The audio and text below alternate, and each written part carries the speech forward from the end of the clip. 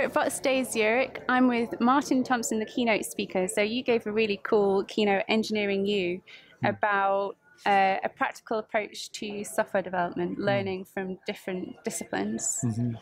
Uh, so what are some, you mentioned in the keynote a quote from 1968. So is your point that we, as software developers, need to look back at different industries like engineering in order to refine our own practices? I think we're just like many of the practices gone before us. We're not learning from the past ourselves.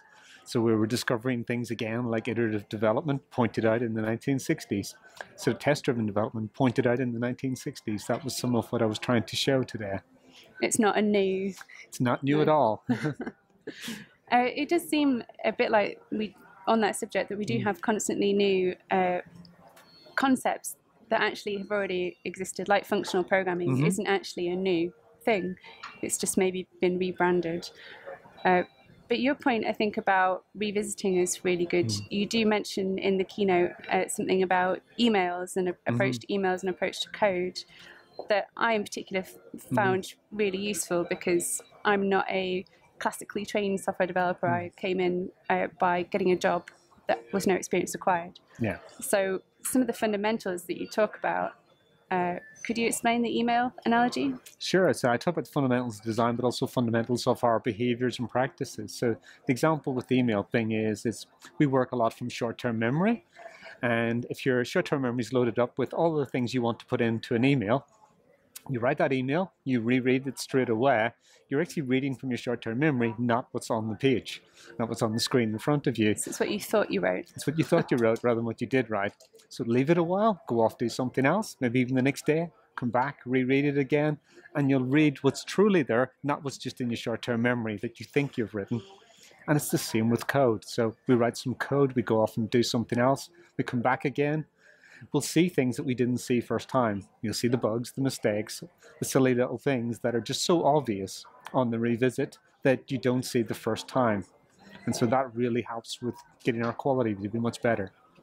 So as well as the, the fundamentals of, of being a good software craftsperson, uh, you also talk about some of the fundamentals that you should learn that transcend languages. Uh, Yeah, lots of those uh, things like coupling, cohesion, separation of concerns. In many ways, all sound like big words, but are actually quite simple, but we need to practice them much more often. So, a lot of them relate to how tangled our code is. We can all kind of relate to code being tangled up, but what does that mean? Like two things coupled together a little bit too much. If we untangle them, it makes it easier to work with, easier to understand, makes the surface area of what we're working with much simpler. But there's some fundamental theory behind that, and it's good to go back and revisit that and practice it. Like just even Google for coupling and see how many how many types of coupling there are. There are many.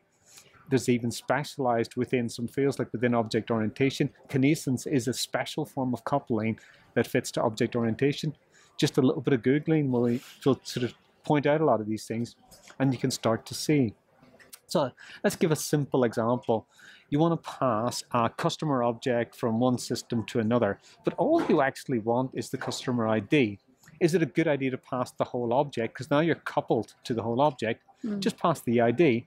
Now you're only coupled to that. The rest can change. So, so we're always changing software, so let's minimize the impact of the change. Quite often, coupling is one of the best ways of achieving that. Keep coupling low. so when you talk about the fundamentals, then hmm.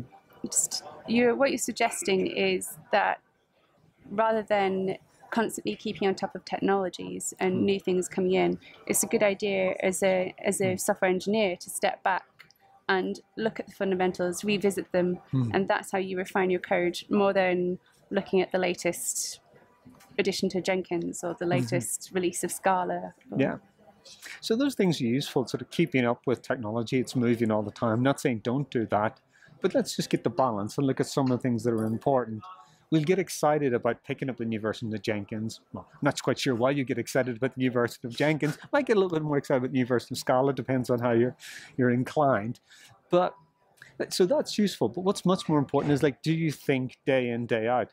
Is my code got nice separation of concerns? Is this module or this component cohesive? Have I got coupling between classes, modules, functions, whatever they happen to be, that shouldn't be there? Mm. Those sorts of fundamentals are much more important to practice until it becomes such a natural instinct that we almost don't need to think about it.